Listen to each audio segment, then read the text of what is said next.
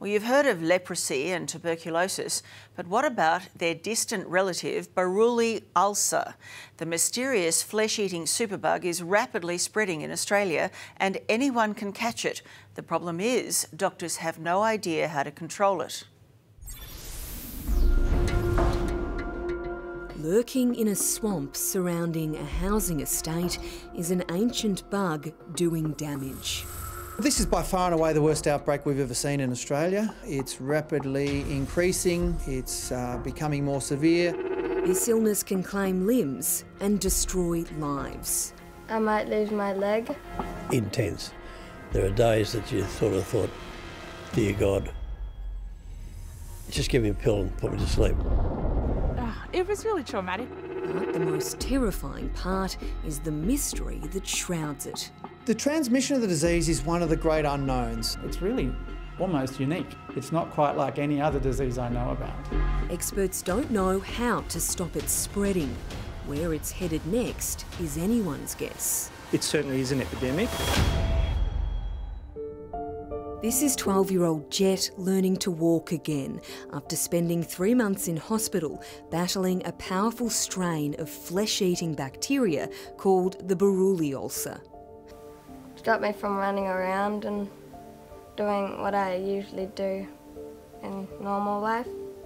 A terrifying ordeal that Queensland mum Anna Lee says could have ended in disaster. Pretty terrified, to be honest. Um, I remember the moment that the doctor came out of um, surgery. He said, I think that you need to go to Brisbane and there's a real chance that if we don't get find out what this is, that he will lose his leg.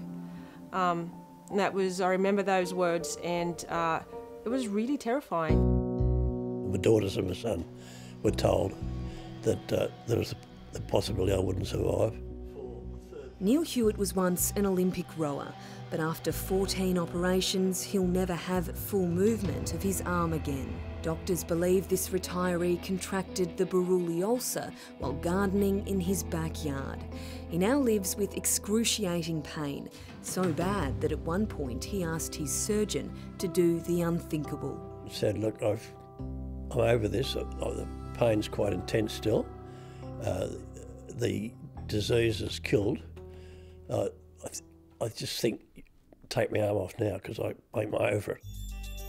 It's a problem that's increasing quite alarmingly, really. Dr. Daniel O'Brien is fighting an epidemic.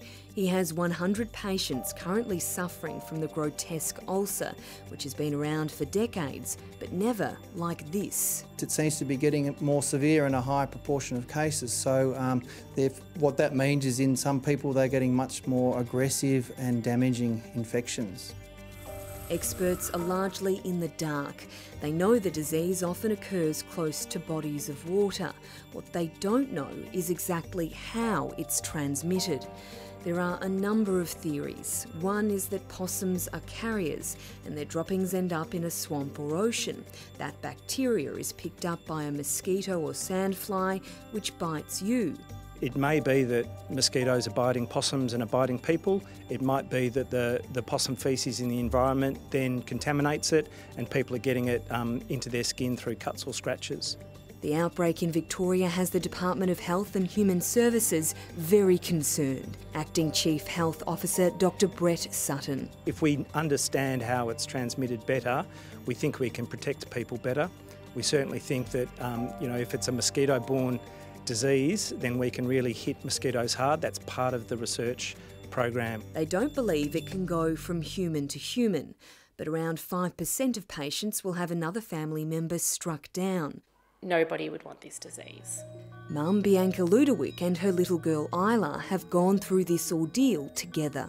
She was so little, the antibiotics that you have to take to deal with that um, bacteria is really, really strong. You don't want your daughter to be, you know, having those going through her liver and things like that. It's not nice. The first big outbreak of this bacteria was several years ago in Victoria's Far East. They called it the Bairnsdale ulcer. It's also found in North Queensland as the Daintree ulcer. For the last two decades, Buruli has been found in Victoria's Bellarine Peninsula. A few years ago, the ulcer travelled across the bay to the Mornington Peninsula. This is the red zone. Doctors have seen cases where people have visited here for as little as half an hour and become infected. We've got kids and I just thought how horrible it would be for one of the kids to get it. Melissa and David live in Rye, one of the biggest hotspots in the bay. This dad works as a tradie. Not being able to lean on his elbow for eight months has been a nightmare. It's a long time to have a hole in your arm. Rates in Victoria's ground zero have climbed to a scale never seen before. In 2000, there were two cases of Buruli. In 2017, there were 277, and experts predict 400 new cases this year. The question is, where will it hit next? Well, if we see a, an expansion of, of the area where it's uh, causing disease, obviously we're concerned that there'll be a bigger you know, metropolitan population exposed. It's completely possible, I think, that it could move up further into Melbourne, that it could move into Geelong, it could move down the coast uh, of coastal Victoria, uh, and it could even move into state because the fact of the matter is it is moving around. Sarah Marie was living in Melbourne's inner suburb of Carrum Downs when she got it. She's had a skin graft but has been left with this awful reminder. There was times where I was really sad and upset about the whole situation. I think it's really scary that we don't know enough about it yet and it needs to be so much more research. Catching the disease quickly is key.